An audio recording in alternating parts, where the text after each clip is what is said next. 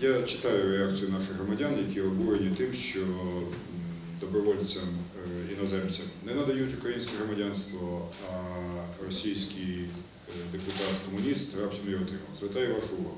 Чинне законодавство передбачає е, автоматичне надання громадянства після надходження заяви від громадянина, в якого є родичі першої лінії, що проживають на території України.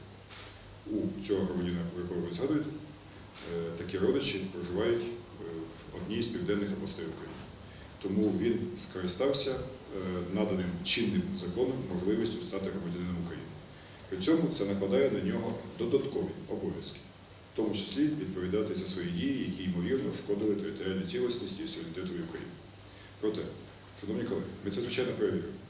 А давайте не забувати необхідність використати його покази е, у справі по державній зраді Януковича.